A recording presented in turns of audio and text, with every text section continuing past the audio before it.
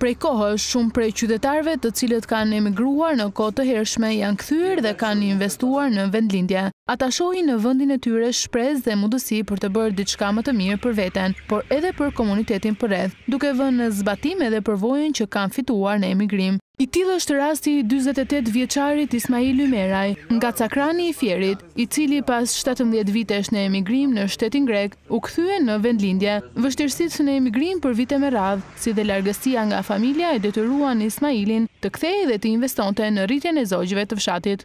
Kemi hapur një pulari rreth pesë mijë krerë. Për për momentin kemi bërë tre ndërtesa, tre pulari. Nga pesë mijë kemi bërë pesëmbëdhjetë mijë krerë në çdo dy muaj. Për ushqimin dhe për punën nuk kemi shumë vështirësi për arsye se të gjitha janë automatike, i kemi krijuar kushtet, na vjen ushqimi me silos me bot dhe vete ushqimi automatikisht, edhe uji, ushqimi, ngrohje, ftohja janë automatike. Jam i kënaqur. Fundi fundit është unë jam në shpi. Jam me familjen. Aq. Një herë do jetë ai fund fundit. Investimi i kursimeve të emigracionit ka një ndikim të rëndësishëm në zhvillimin e turizmit, pasi të shumtë janë ata që e preferojnë fshatin dhe prodhimet bio të tij.